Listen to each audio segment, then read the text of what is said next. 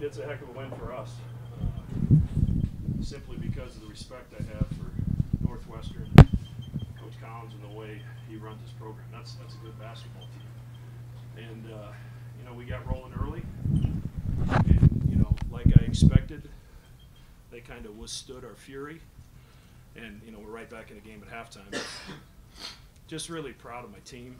Uh, you know, our fifth year senior Toby Hegner going down is not a recipe for success for us. But, you know, we had Mitch Ballock, a freshman, come in, and play the power forward some, which he's hardly done. Uh, Manny Suarez gave us great minutes off the bench. Ronnie Harrell was outstanding. Ty-Shon Alexander, our young freshman, was great.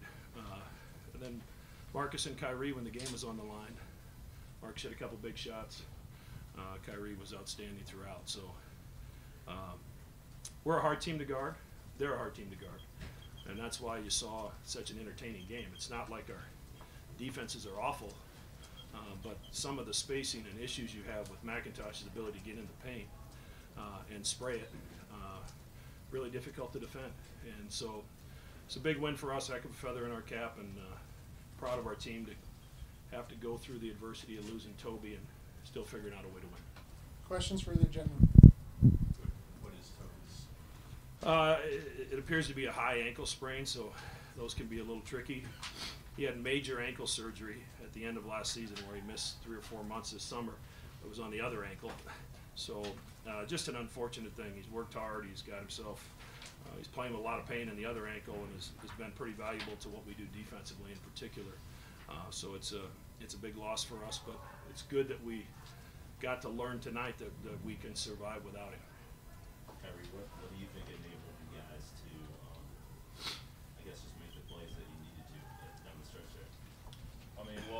well, in practice, uh, you really uh, pay attention to detail and uh, you know do the little things uh, that really matter, which you kind of put a lot of emphasis on in practice and uh, before the game, uh, whether it's like rebounding or knowing the little simple things about uh, a certain play that they run.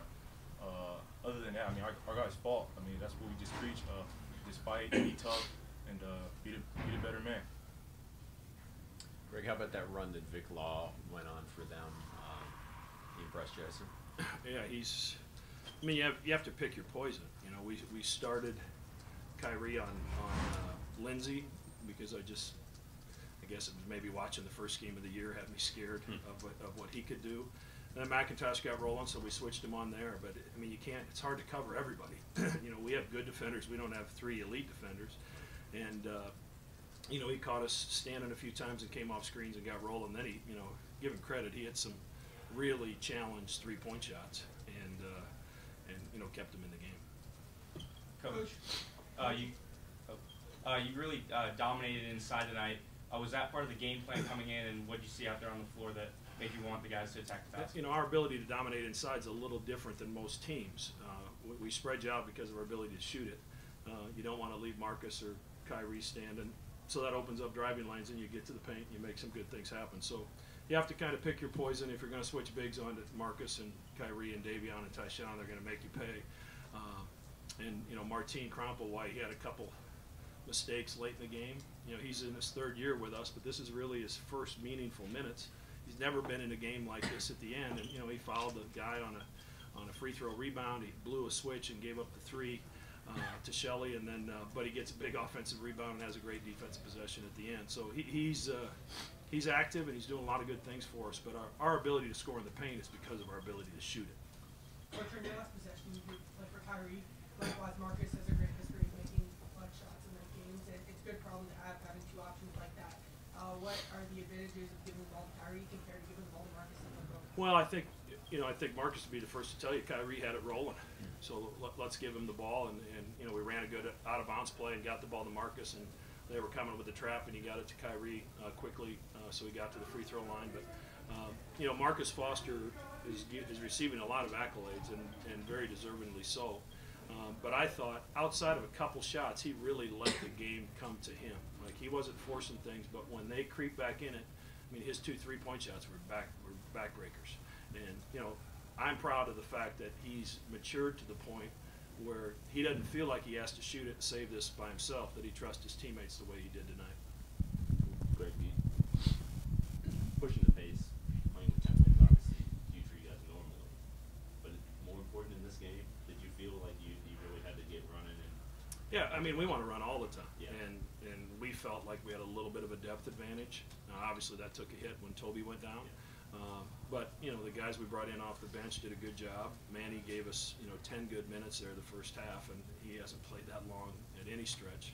Um, and then, you know, the second half, Coach Collins made the decision to really tap the brakes and slow it down so we couldn't get out and run as much. And obviously, that allowed him to get back in the game. But, you know, I kept telling the guys, just, just stick to our plan. You know, just stick to our plan. When we got, when we have opportunities to push, we need to push, and they'll be there. And uh, fortunately, we made some big plays.